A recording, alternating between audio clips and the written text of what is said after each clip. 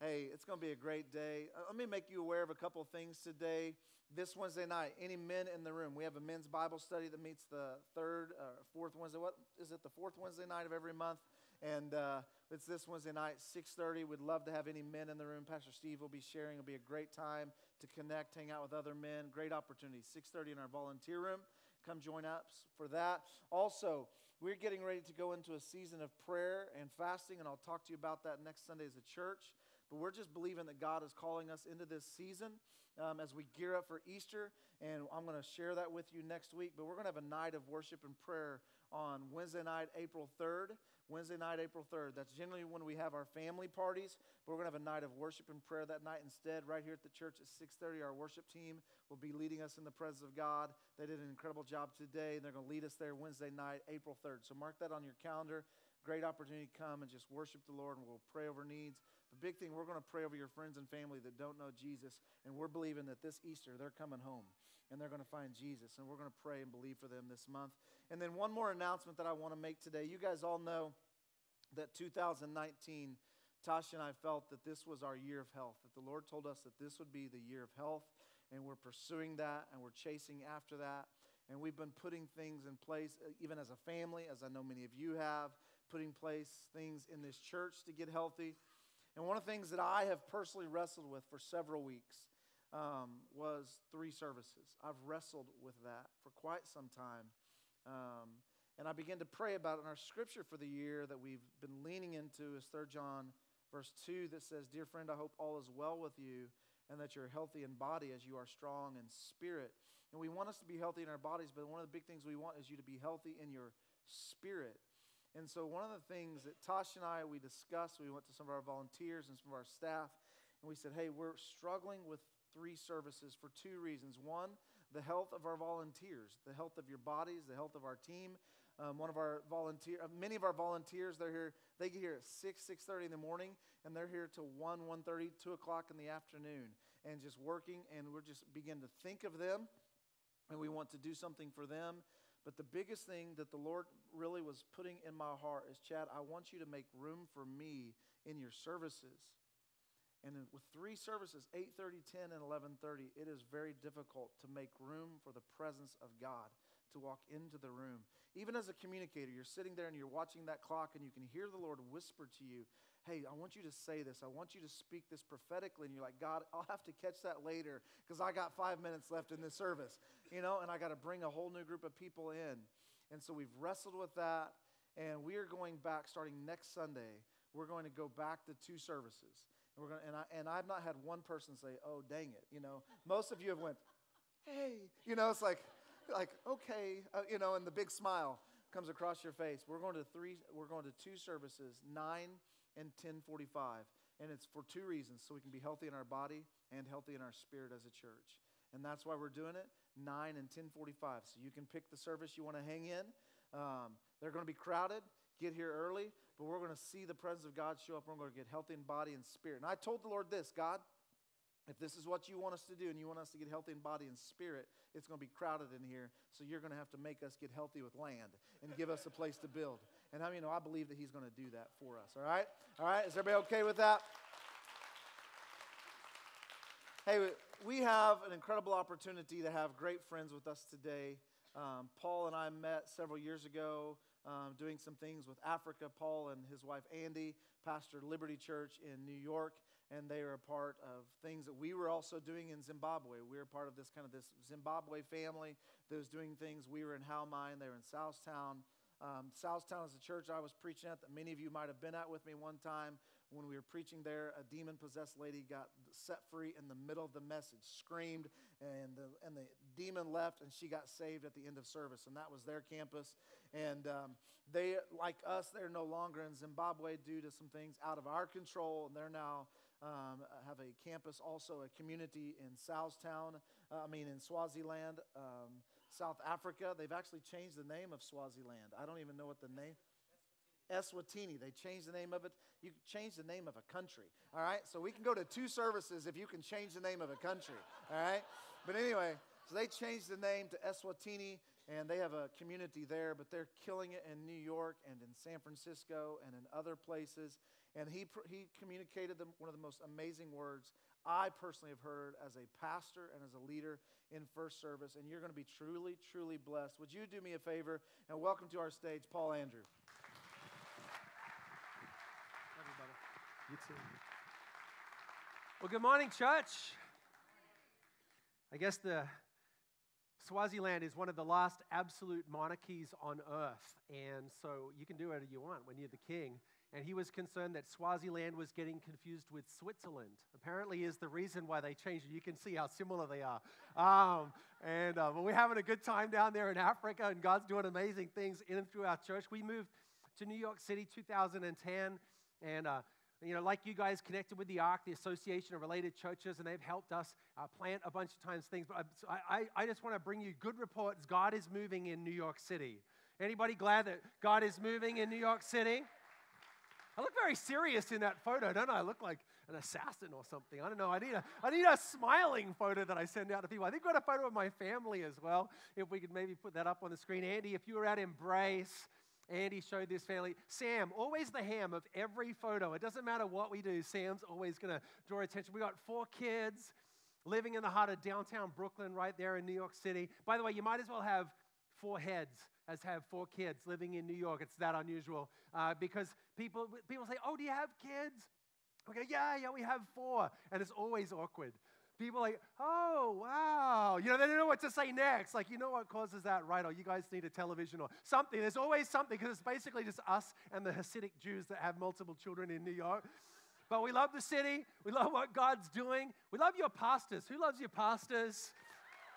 Chad and Tasha, thank you for having us. And all that happened through Embrace is amazing. What God's doing through Destiny is incredible. And I just believe the greatest days are right in front of you.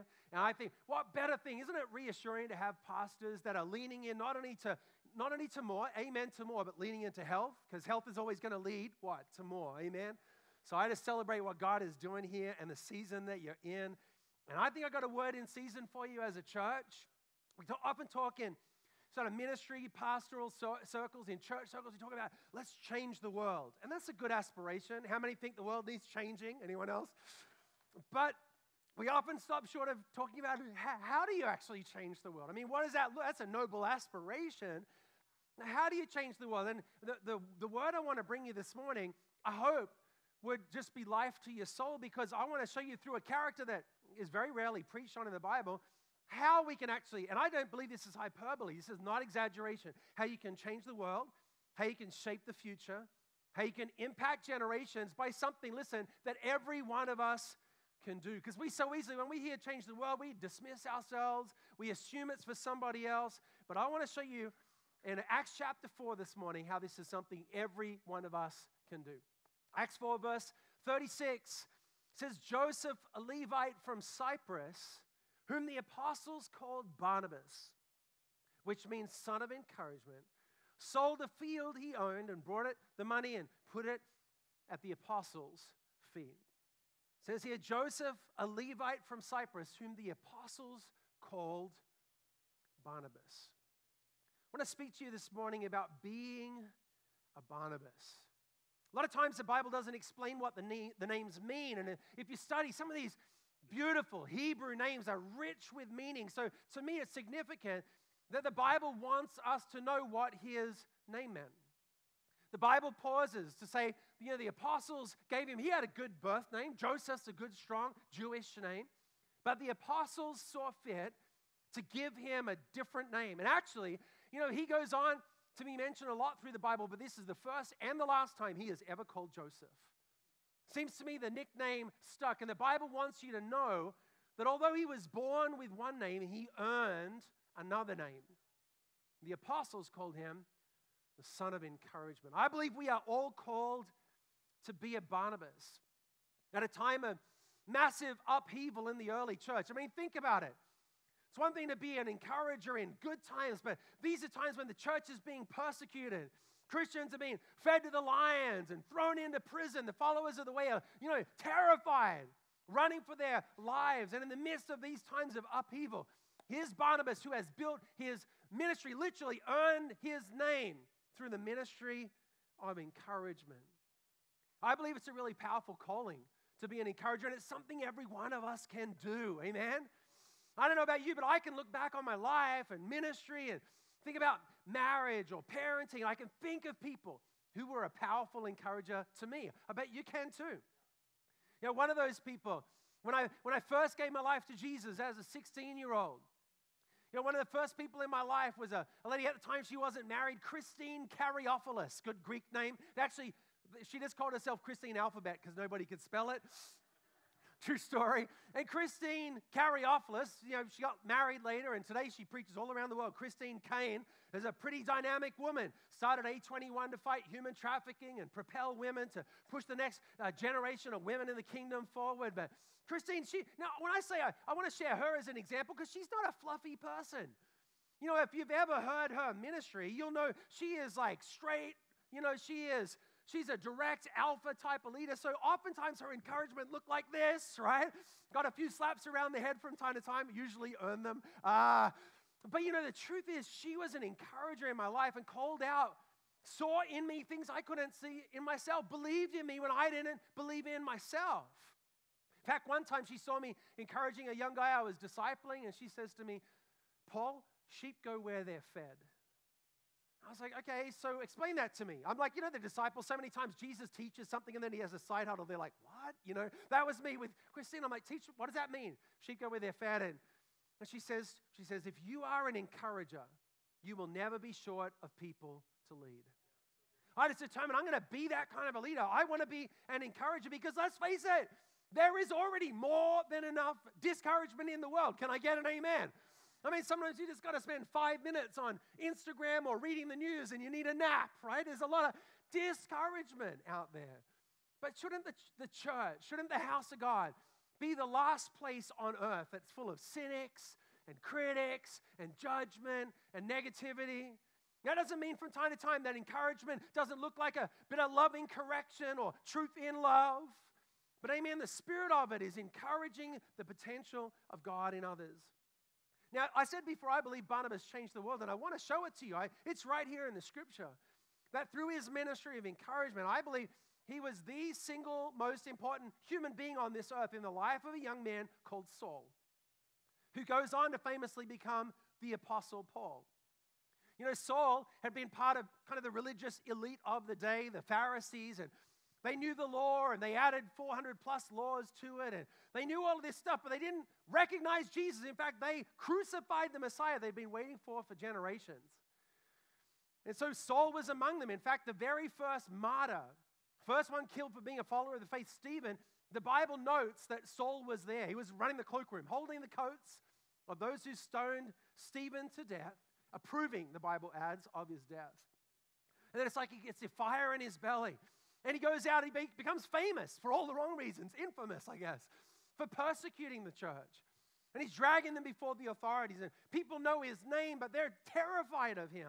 And, and so, in his zeal, he's persecuting the church. In fact, he's on his way. He has letters in his hand.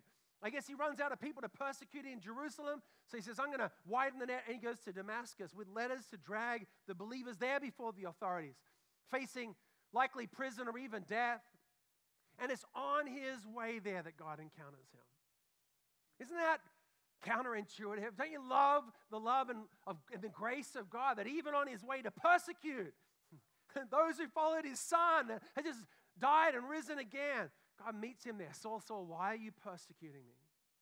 So he's radically converted, struck blind, ends up in the house of a man called Ananias. And we're going to pick up Saul's story right there after this radical conversion in Acts chapter 9, in verse 19, it says Saul spent several days with the disciples in Damascus, and at once he began to preach in the synagogues that Jesus is the Son of God. Just pause for a second. We'll get back to the scripture. Can we please read the scripture by, you know, opening our hearts and minds? I like to put myself in the story. I'm like, okay, you know, this, you know, we read it just like a textbook sometimes. Like, no, no, no, no, no. If you're in the church, if you were in Destiny Church Damascus, this is a tough week because You've heard this guy is on his way. He's going to drag us before the authorities. We might lose loved ones to the lions.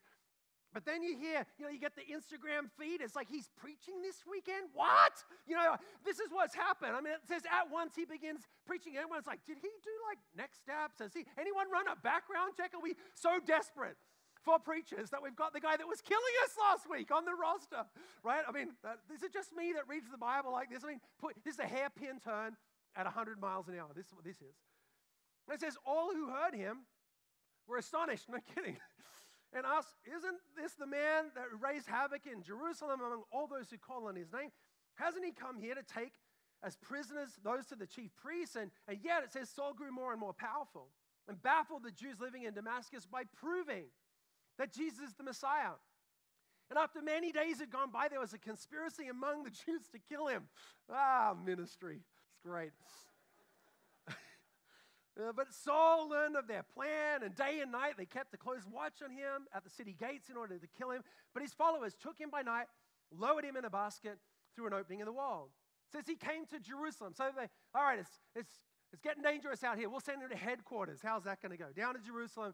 It says he tried to join the disciples, but they were all afraid of him, not believing that he was really a disciple. Now, we read with the benefit of 2020 hindsight, and we think, oh, come on, guys, this is Paul in the making. I mean, he's going to be one of the greats of the early church. They don't know that. Cut him some slack. All they know is he's killing people. He hated us a minute ago. And they're thinking, I'm not sure he's really a disciple. And actually, that would have been a, a clever plan.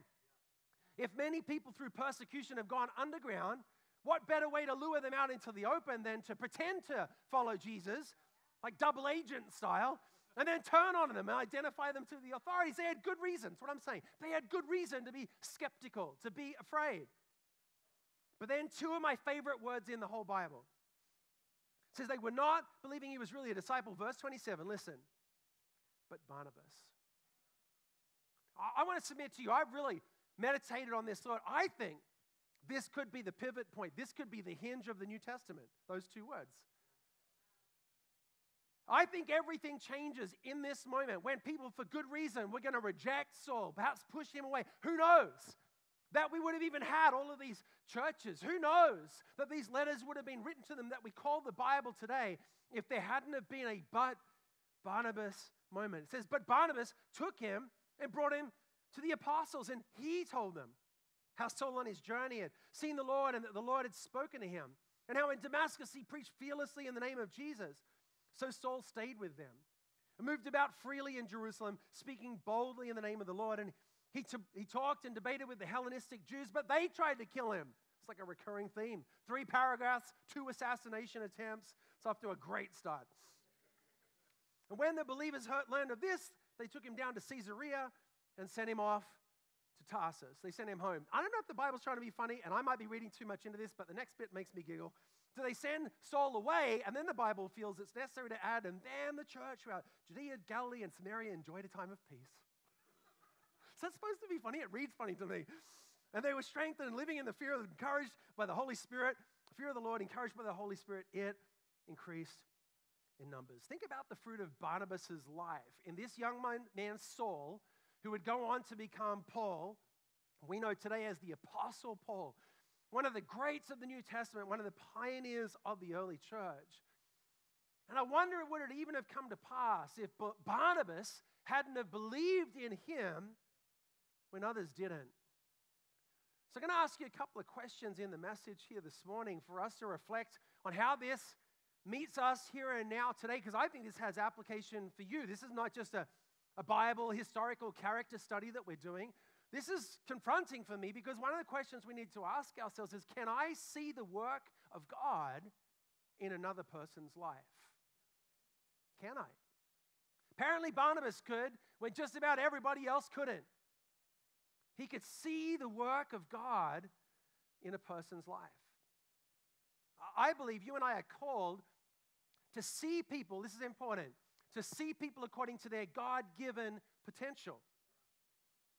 But so often, what we do is we just see people as they are, or worse. We see people according to their past, as, as if it's not under the blood of Jesus. Amen? No condemnation, a new creation. We so often hold people to the past, or at best we see them for, as they are, and yet I believe the Barnabas, the gift of a Barnabas, the mind and the eyes of Christ in you and I is to see people by the eyes of faith what God is doing in another person's life. Here's another question Am I willing to risk my reputation on someone else? Because, of course, I being an encourager, if I said, Who wants to be an encourager? Yeah, we all do. But where the rubber hits the road, this is the real stuff. Because think about it. We know something of Barnabas and his influence, and you know, he was known to them. They gave him a nickname. He, he, would given the proceeds of land, and, and here's Barnabas, who has apparently enough influence and access to be able to get Saul when everybody else is like, I don't know. He got him before the apostles, and he vouched for him. It says that he told them about his conversion. He told them how he preached fearlessly, and they believed him. In other words, he risked his reputation on this young man, Saul. He took a chance. and we, are we willing to do that? I'd rather err on the side of believing in people, amen, than always the cynic, always the critic. Oh, let them prove ourselves. We'll see. Give them time. And I understand there's wisdom and there's fruit and there's a journey, but man, if I'm going to err, I want to err on the side of believing in people. Here's another question Am I willing to handle the ups and downs of believing in people? I mean, Saul nearly got himself killed twice. I imagine that early on, when people like, how, saying to Barnabas, how's Saul doing? A good week would have been, he's alive. You know, I mean, that's what it was like in the beginning, right? It's volatile, what the Bible calls it new wine, right? I mean, it's like what Saul's doing and what he's wrestling through and revelation in his zeal. It's like he's gone from zeal against the church to zeal for the things of God. And Barnabas had to be willing to navigate the ups and downs of that and the, and the journey of that. Here's another question Am I secure enough to empower others? This is where we really break down a lot of times. Am I secure enough to empower others? Because it preaches well, and we mean it. We say, we want the next generation to stand on our shoulders. How are we when they actually do, though? How are we when the spotlight shifts? When others are celebrating them, and I'm like, hey, you know, me, I was, I was there. They wouldn't be what they are without me. Am I secure enough? You know, the Bible does an interesting thing. You know, Barnabas and Saul, they spent a lot of time together. They're listed a lot of times in the, in the Bible, and early on it's always Barnabas and Saul, Barnabas and Saul. Then it's Barnabas and Paul as his name changes, Barnabas and Paul. And then with no announcement, it just becomes Paul and Barnabas. Paul and Barnabas, Paul and Barnabas. And you think, well, what does that mean? I'll tell you what I think it means. Paul becomes the more famous of the two. He becomes the so called bigger name, at least on earth. I think we'll all be shocked when we get to heaven. Amen. Where the impact really was. But that's, Barnabas is secure enough to let others shine. Amen. To let others be used by God in ways and to see the spotlight shift as Paul goes on to help plant all these churches and writes much of the New Testament. I imagine Barnabas is just sitting back and smiling as he sees the goodness of God at life and at work in his life. And you know, I want to clarify something too, because when I say encouragement, I think we all run a filter that we don't realize is there. If I said to you, I think it would be a good idea, go encourage someone today, 99% of us are thinking, I've got to say something. Can I offer a bigger definition of encouragement? If to encourage is simply to put courage in, then let's consider that both words and works are a part of encouragement. Amen to the words. I'm not saying don't use words, but I think Barnabas encouraged just by his presence, just by being there with Saul. His very presence was encouraging. You know, if you think about it, it was works that got him the nickname. It wasn't words, says that he sold a field, brought the proceeds before the apostles, and they gave him the name Son of Encouragement. So it's our time, it's our talent, it's our treasure. Being generous with all that we are is what it means to live a generous, encouraging life. It's not just about words. In fact, if I could say this, I think oftentimes historically the church has majored on words and mitered on works. And it often undermines our witness that our words and our works aren't quite aligned. Amen? The world is looking on at the way that we live and what we actually do with what we believe. Let's be people who live as encouragers. You know, in case any of you are thinking, well, that's great, but this is just one example. I mean, Barnabas and, and, and Saul, who goes on to become Paul, but actually, there's sort of a, a more hidden story in the Bible. In fact, I didn't realize till I studied for this message that, that Barnabas has a cousin John Mark. The Bible often just calls him Mark for short. And you have to piece it together because it's not told all in one place in the Bible. As you read through the different letters and you read through the book of Acts, we come to discover that, that Barnabas and, and Saul, when they went out to plant all those early churches, they decided to bring Barnabas' cousin John Mark with them. Now, we don't know why, and we don't know exactly when, but somewhere through that trip, as they planted churches in Ephesus and Corinth and somewhere along the way, John Mark quits. He literally just turns back. So they finish the trip without him, and sometime later they decide we've got to go back out and encourage all those churches again. And Barnabas says, Let's bring John Mark. And Paul says, No. He says, No. In fact, in fact, the Bible says he deserted us. That's how Paul felt. He deserted us. He's a deserter. He's not coming on. Paul wouldn't even take him on a missions trip. He deserted us. The Bible says it was such a sharp dispute that Paul and Barnabas go different ways. And from then on, it's always Paul and Silas, and it's Barnabas and Mark. And you would think that's going to be the end of the story. And in some ways, as you read it and Paul writing so much of the story, you could miss that what's beautiful about encouragement is encouragement creates room for second chances. It's not the end of the story for Barnabas. It's not the end of the story for Mark. I haven't got time to read you the scriptures, but let me say this is it's not the end of it because Paul, in some of his letters, think the last thing he called this guy is a deserter and refused to take him on a missions trip. But in Philemon 124, he, he, he honors Mark by saying he is my fellow worker in Christ. Well, that's a big step up on deserter. And by the time we get to 2 Timothy chapter 4, he actually says, Send John Mark to me, for he is useful to me in my ministry. You know, many scholars believe this is the very Mark that wrote the Gospel of Mark. Hello?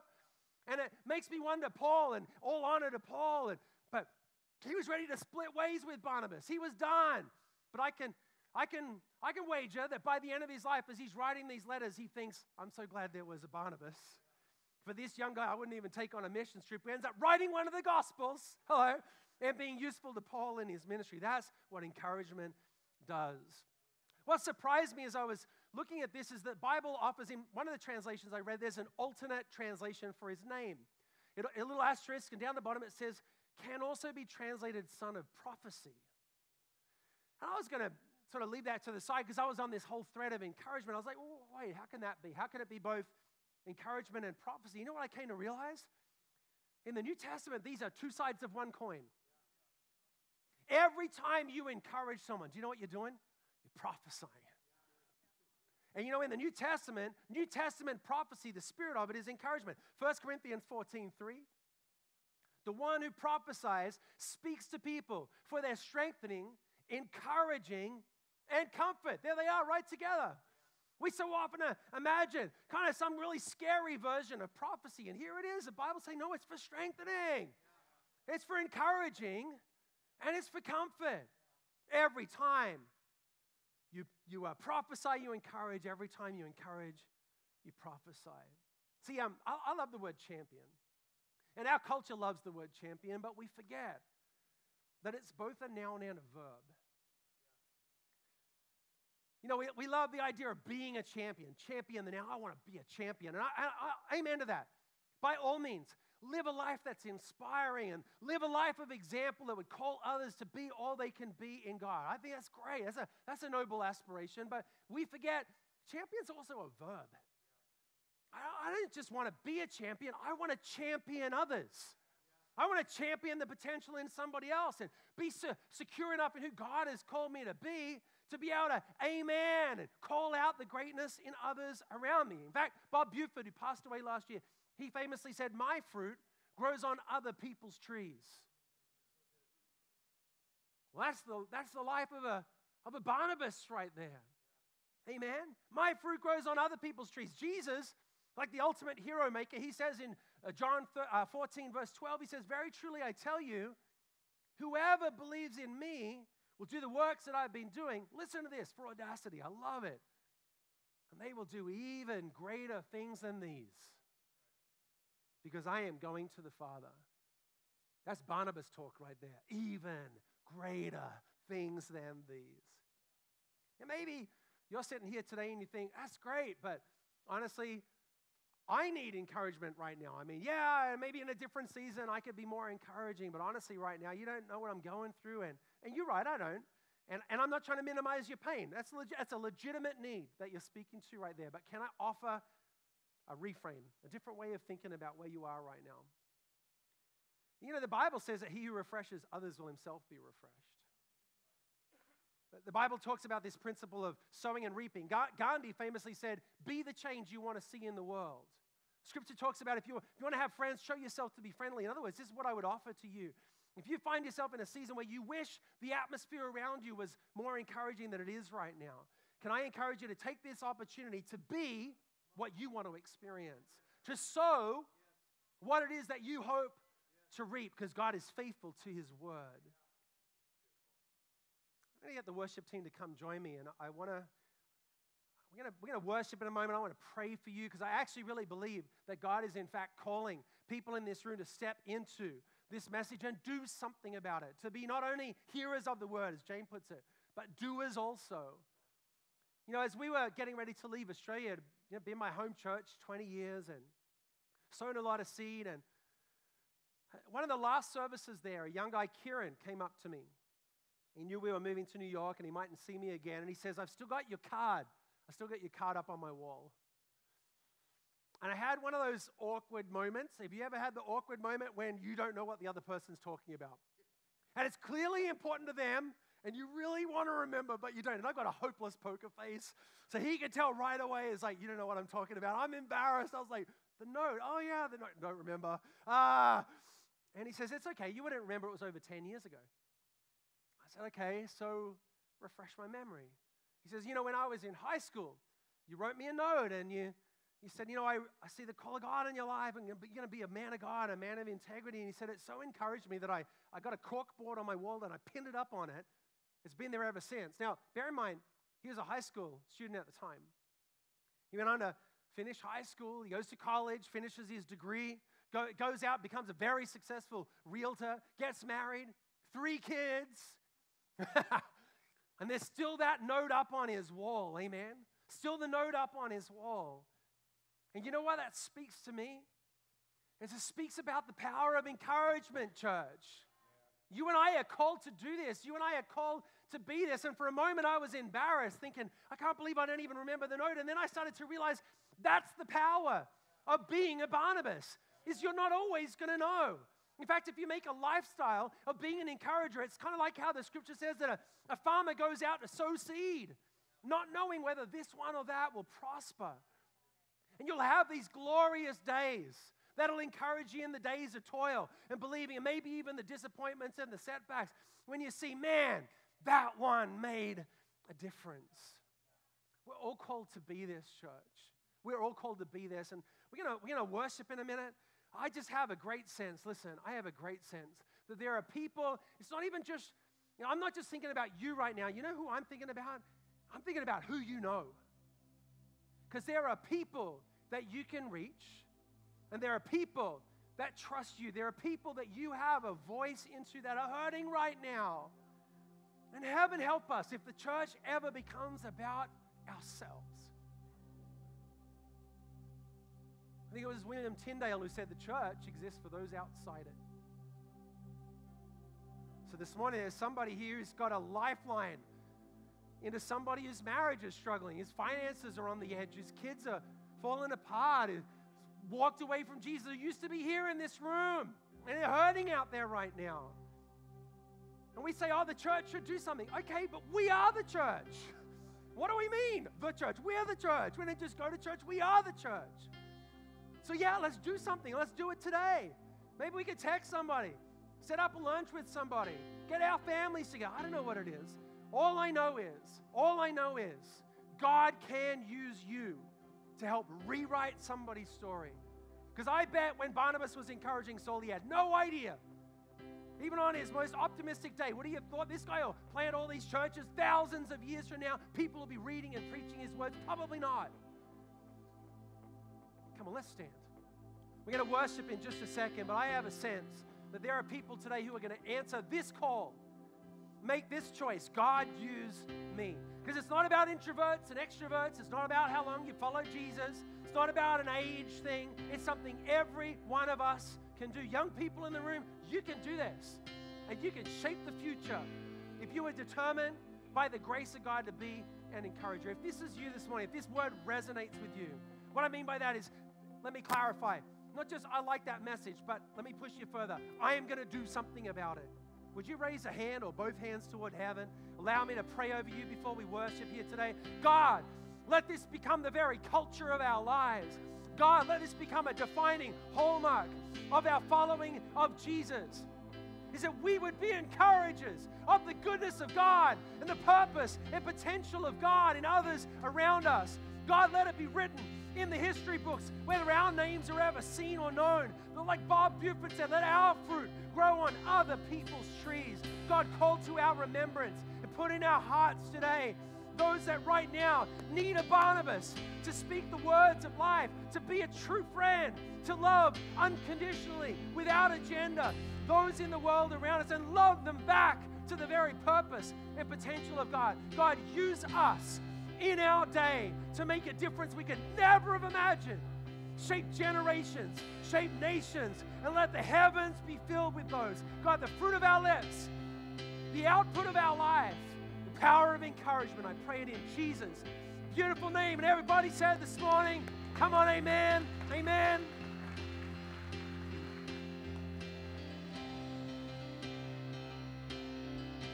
Let's sing. Well, I just want to speak the name of Jesus